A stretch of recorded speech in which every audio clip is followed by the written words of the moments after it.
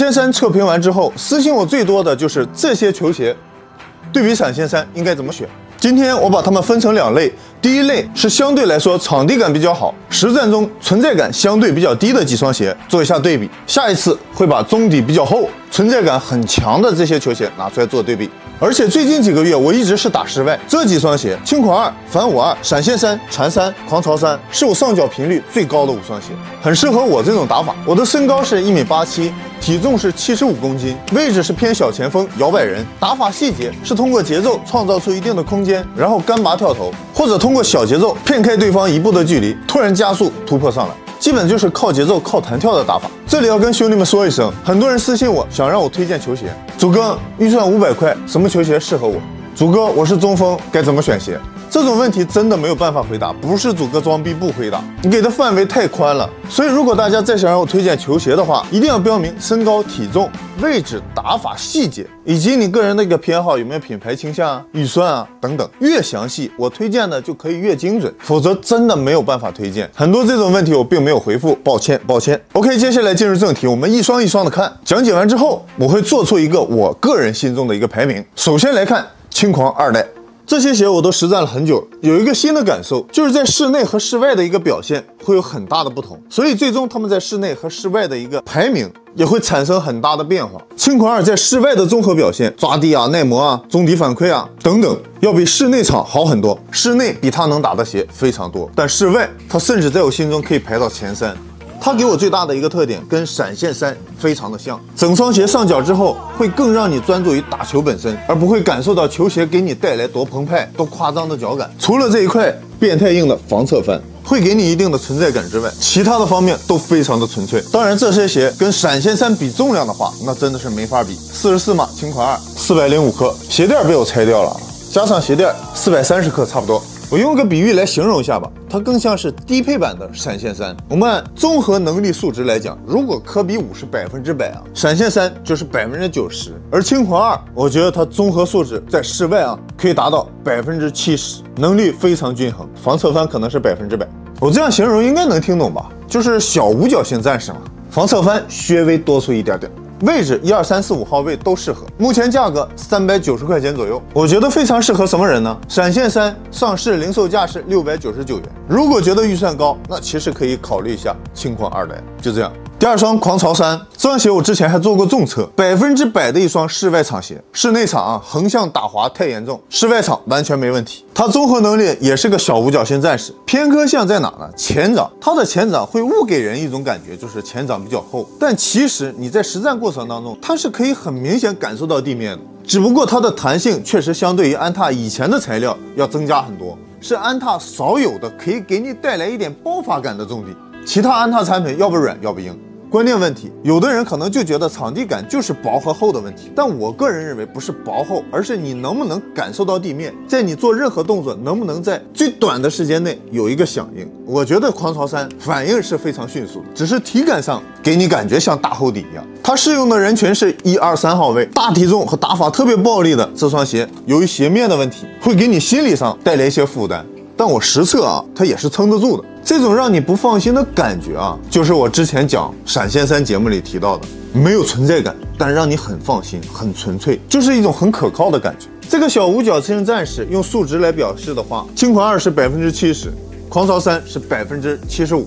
目前售价三百七十元左右，我觉得适合什么人群？喜欢做动作的一二三号位。其实它的定位啊，跟第三双禅三很像。禅三在各方面素质表现啊，我觉得跟狂潮三非常的像。定位、使用人群都一样。小五角星能力综合值，我觉得跟狂潮三也是一样的，都是百分之七十五。上脚之后的存在感也是来源于中底，不同的是，狂潮三会带来一些弹，而禅三会让你有软的感觉。好的地方啊，是我觉得它虽然软，但并不泄力，踩下去之后也可以很清晰的感受到地面。也许这就是它 Quick Form Light 的特点，连缺点都跟狂潮三有点像，也是前掌鞋面这里支撑，做巨幅动作，这里也会有很不踏实的感觉。这个十字形的设计亮点，让它在做变向和转身的时候，确实能感受到非常丝滑。适应人群也是小体重的一二三号位，目前价格在四百二十九元左右。个人觉得它跟狂潮三对比，可以按照颜值去选。对了，还要补充一个重要的点：狂潮三百分之百属于室外，而禅三室内和室外都 OK。这是这五双鞋当中啊，室内和室外表现一样的球鞋。OK，接下来反五二代，反五二，我个人长时间的一个使用之后，觉得还是室外要远远好于室内的表现，不是耐磨抓地的方面都很好，而我感觉可能还是它中底泵的原因。反五二，我在室外无论怎么打都不会出现脚酸的情况，它累累小腿累跟腱从来没有过。但是我在穿反五二打室内的时候，回来之后会非常的累，小腿跟腱啊都会有一点疼痛的感觉。我为了验证是不是，还多穿了两次，每一次室外都没问题。一到室内，小腿就疼。我个人分析什么原因啊？水泥地会比较硬，它中底的这个泵啊，它的软弹度完全对冲掉。而室内木地板呢，本身就比较软，然后这个泵在木地板上又会显得更软，可能就是这种软带来这种力损耗。所以我个人现在反五二只打室外，室内打不了。这点我不敢肯定，但如果有相同感受的朋友啊，可以发表一下你的看法。OK，反五二在能力数值表现上也是一个大五角星战士。但有两方面比较偏科，一个是中底泵的反馈还是很强的，上脚之后那个泵的存在感你永远是摆脱不掉的。这东西啊，不是说它不好，很爽的感觉，但这种爽不是人人都需要的。不理解的可以看一下我闪现三的测评。OK，另一方面就是防侧翻，反五二的防侧翻保护性太好，在做侧向动作的时候阻力感太强。除此之外，完美能力模型综合素质百分之八十。目前最低价格六百八十元左右，适用人群我周围已经很多人穿了，一二三四五号位都可以，比较适合对场地感要求比较高、对保护性要求比较高的人，且想感受一下蹦脚感的朋友。OK。最后去对比它们一切的根源，闪现三代这双鞋室内的表现要稍微强于室外，总体上感觉差不多，但是它的那种均衡感在室内表现的会更淋漓尽致一些。打个比方，你光脚打球，你光脚在水泥地上和光脚在木地板上哪个舒服？就这个道理。之前测评节目有一个粉丝，我觉得他形容的非常好，闪现三并不像你穿了一双篮球鞋，而像是一双加强版的脚，牛逼，respect。这双鞋啊，除了前面窄不适合大宽脚以外，目前又发现另一个大家需要注意的点，就还是尺码的问题。现在有一些人已经上脚了，他说前面这里打完球之后，感觉脚趾头有点被顶、被夹的感觉。有人说啊，可能是前后掌落差的问题。但我个人的一个体验，你脚进去之后，整个包裹是给你脚已经锁死的。这种前掌带来夹脚那种不适感，完全是因为尺码带来的。我现在已经打了十多场球了，只有一次出现过这种夹脚趾的状态，是我穿了一双非常非常厚的毛巾袜所致。到时候大家一定要选对尺码，如果买小了，就一定会出现顶脚趾的问题。切记，我呢现在用尺子啊亲身量一下我的脚长和这个鞋尺码。我觉得现在是刚刚好的一种状态啊！量一下我的脚，我脚最长是二脚趾开始啊，到脚后跟讲不准，这样这样，二十七点一，二十七点一到二十七点二厘米，误差反正就这样吧。前面脚宽也量一下啊，最宽的两个点，十点，脚最宽的地方十点五毫米。我这个脚穿四十三码的闪现三是刚刚好。适用的位置，我跟大家也说一声，一二三四五号位都适合。闪现三不太分位置，它更多的是你想要一双什么样的球鞋。这是一个正儿八经的一双大五角星战士，各方面全部是均衡的，没有一点点偏科，没有一点点突出，也没有一点点缺陷。如果说科比五啊，百分之一百，它百分之九十。我为了能让大家有个更直观的体验啊，做一个五款鞋上脚的表情包。给大家表演一下它们之间所存在的那种细微的一些差距。轻狂二，你上脚的表情；狂潮三上脚的表情；哇哇哇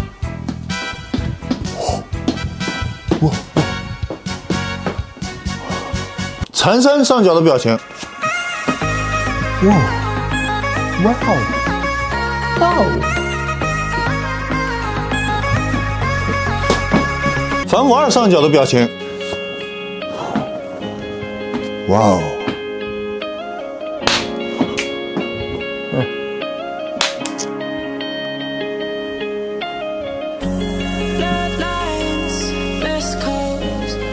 闪现三上脚的表情。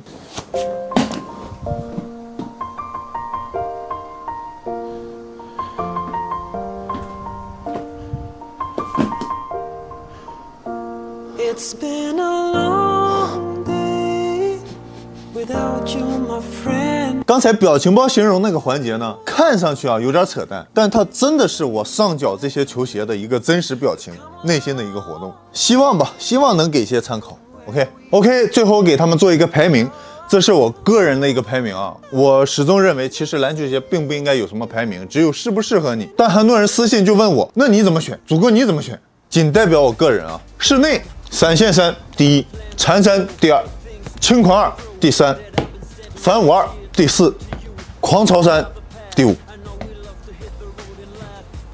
OK，室外闪现三第一，轻狂二第二，反五二第三，缠山第四，狂潮三第五。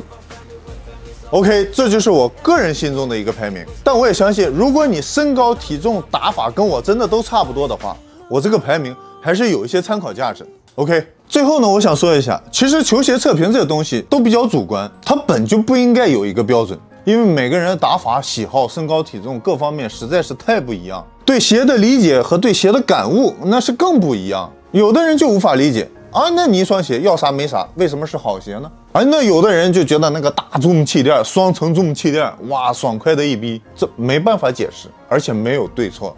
所以你在自己不能去提前试穿的情况下，就想通过测评节目来筛选一双球鞋的话，那你还是尽可能的多观察一些这些球鞋测评 UP 主，多去了解他这个人，他跟你有有没有很多相似的地方？不光是打法、身高、体重啊，有的时候对球鞋的理解、对球鞋的感悟也是很有用的。如果这些都一样的话，那基本上就是我的爱好就是你的爱，就这样。所以还是希望大家能够多看一下不同 UP 主。他们的风格、人物性格、打法、身高体重，都多了解一下，这样他们推荐的球鞋对你才是最有价值。我本来下一期想做一下，就是这些中底存在感非常强的，什么十四泵啊、AJ 一啊，这大厚底的球鞋。但是我在考虑要不要做，因为第一呢，这些球鞋很多价格都比较贵，意义并不是很大。第二点，测评这些球鞋，我觉得也烂大街了，好多人都在讲，大家应该也都明白了。觉得有必要做的扣个一，觉得没啥必要了，这些就够了，扣个二，我看一看。如果人不多的话，就不做了。其实这种节目也挺辛苦。